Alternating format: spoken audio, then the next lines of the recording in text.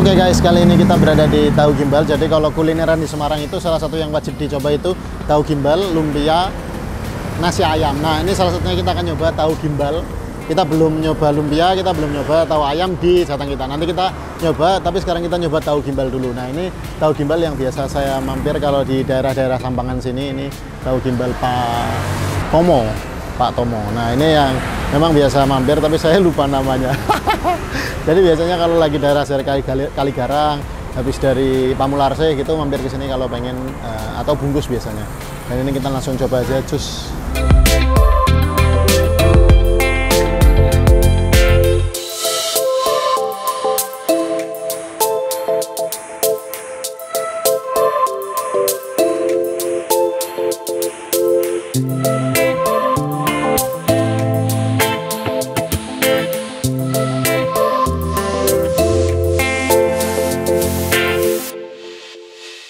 Oke guys, makanannya sudah datang.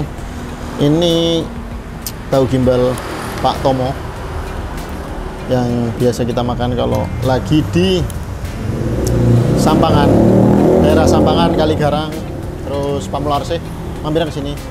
Dan ini salah satu menu wajib kalau mau ke Semarang. Hmm. Kayak gubuk enggak?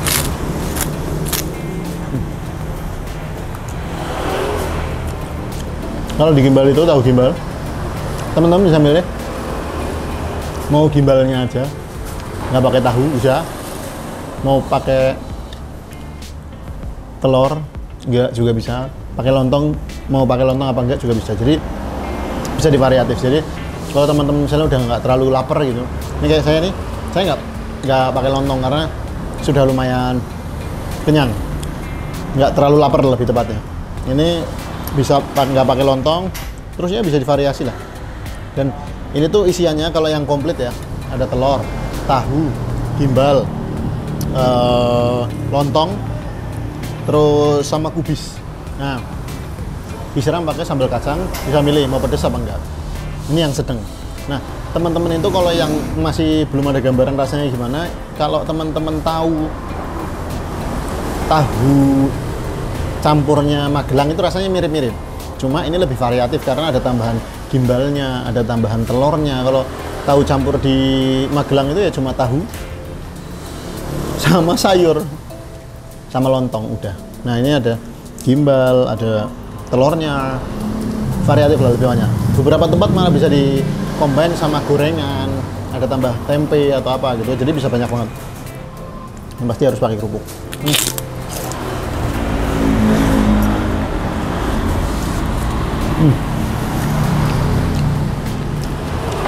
Tapi ini walaupun sambal kacang, rasa kacangnya itu nggak kayak sate.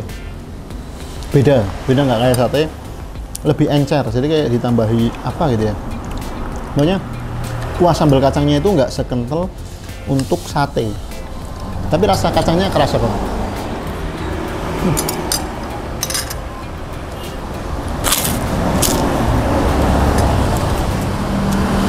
Tahu gimbal ini kalau di Semarang itu banyak di daerah Simpang Lima.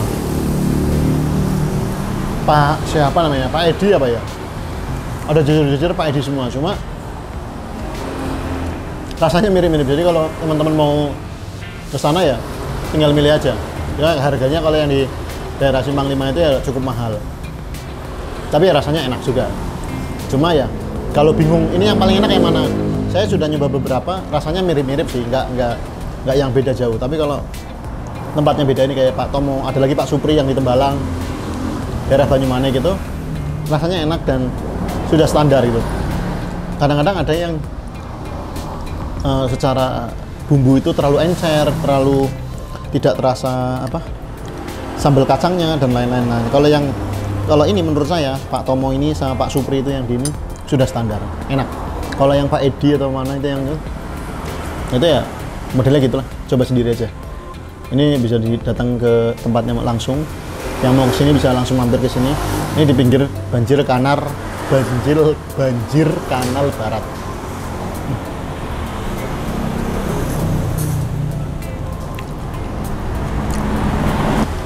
Nah beberapa orang menganggap bahwa tahu gimbal ini kayak cemilan. Tapi menurut saya ini makanan berat ya. Karena ya walaupun ini kalau kata orang Jawa nggak makan nasi nggak nggak makan tapi ini lontong. Dan secara komposisi itu cukup berat. Jadi kalau makan ini ya pasti kenyang sih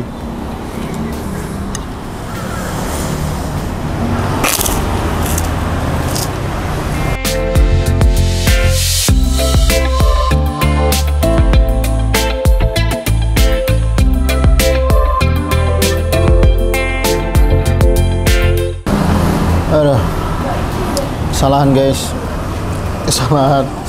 Ini pesen es campur, isinya banyak banget ternyata. Aduh, saya underestimate biasanya kan, ya es campur isinya sedikit-sedikit aja gitu. Terus ini full, bener-bener full. Jadi udah sengaja mesen di sini nggak pakai lontong.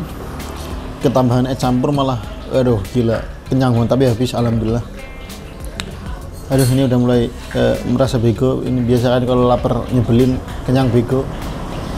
Saatnya cus karena kalau enggak di sini kita bisa tidur di sini karena udah mulai ngantuk. Biasa orang kalau kekenyangan kan mulai tuh uh, teler mabuk uh, mabuk dunia enggak lah. Itu mungkin uh, konten kita kali ini. Nanti mungkin kita akan next cari apa ya? Ya lumpia yang belum um, nasi ayam apalagi oh Manyung Bufat mungkin kita juga belum pernah. Manyung Bufat ke Semarang itu belum pernah. Tapi kayaknya konten kita kok ini jalan-jalan Jateng apa kuliner Jateng? Kebanyakan kulinernya daripada jalan-jalannya. Tapi nanti kita sambil nyari jalan-jalan yang lain. Karena kalau jalan-jalan sekarang itu masih akhir tahun males banget keluarnya. Uh, apa namanya? Tempat-tempat wisata itu pada penuh.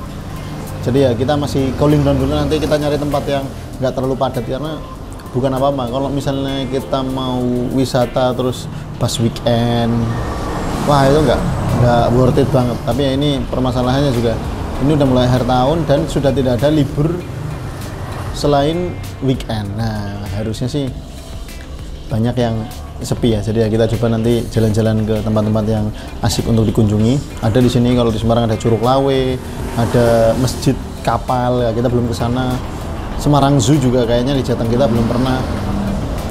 Apalagi ya? Banyak tempat-tempat yang masih bisa kita kunjungi lah. Oke itu saja. Langsung kita bayar terus pulang. Cus. Oh iya jangan lupa like comment subscribe. Like comment subscribe. Share juga ke teman-teman. Bye bye